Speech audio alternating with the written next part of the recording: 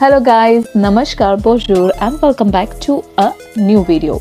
In this video, I'm going to answer the most asked question to me. How much can we earn in France and how much is the average part-time salary or full-time salary for Indians in France? Those who are new here, thank you very much for watching this video.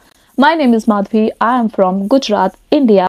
If you like this video, hit the subscribe button Let's talk about the part-time salary and the part-time hours we can work. Now, you can work as part-time when you are a student. Detail में इस video के लिए please follow the uh, you know videos in this link and in the description so that you know more about APS and part-time jobs. If you came in Paris in 2023, then it's actually a very good time to be here because the salaries, the part-time salary, the average hourly rate, the uh, SMIC, the average uh, full-time salary has been increased. The hourly rate has been increased from 10 point, I think 47 to 12.47. Second, uh, part-time job, you can only work 20 to 25 hours and which can give you around 850 or 900 euros in a month.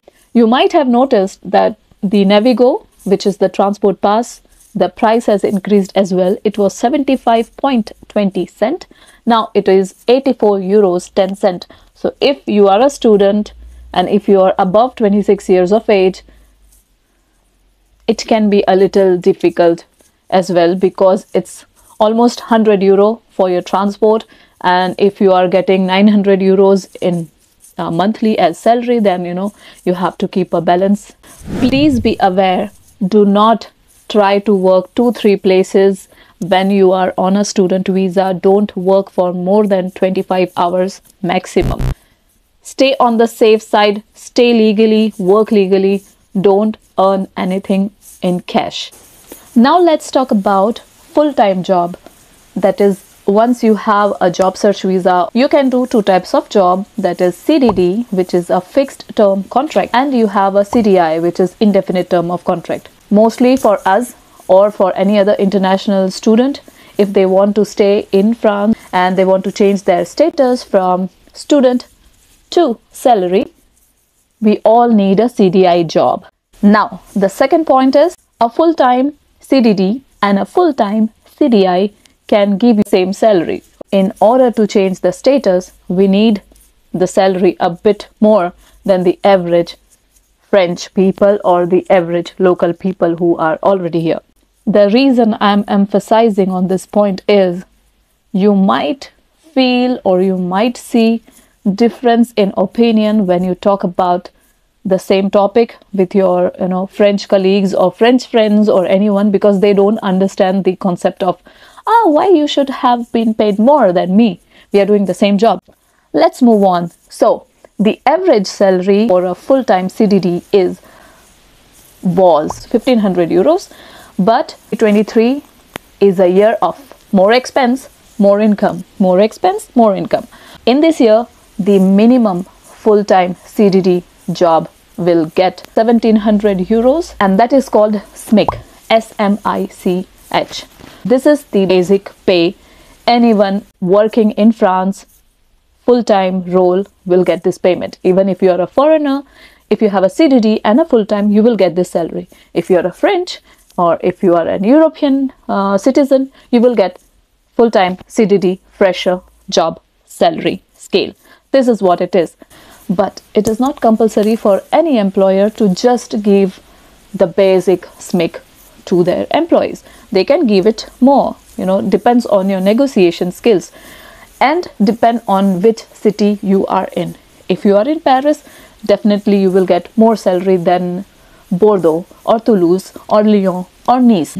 But i, I believe paris is the metro city and it gives you more job opportunities and it gives you more salary as well. Moving forward the salary depending on the positions. Let's say you are a cashier let's say you are a receptionist. All these entry level jobs if you are hired on a full time CDD or CDI role as well you will get the basic average salary which is around 1700 plus if they give you the reimbursement for the transport pass then it should be awesome.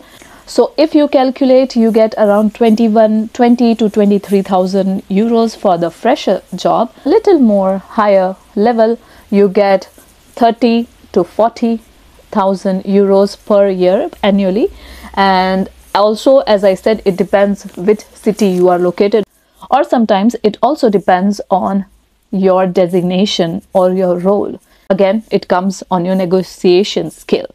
And lastly, the average salary if you have already an experience from India or your country, you can get more than 50,000 euros in Paris city.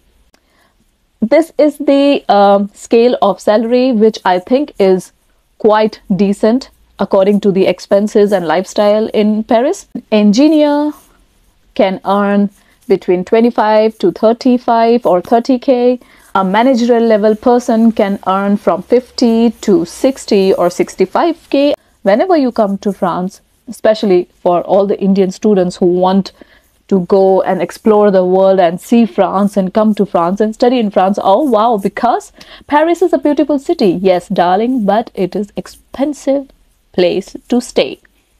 So, do your research for any school you want to go. Do not depend on no consultants, no YouTuber. Yes, you can take certain topics from everyone, see it, compare your research, and voila, go for it.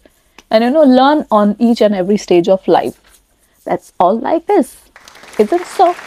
This was the video for today and like, share, subscribe, comment below. Yes, you can DM on Instagram and not anywhere else. Please. And see you in the next one. Bye.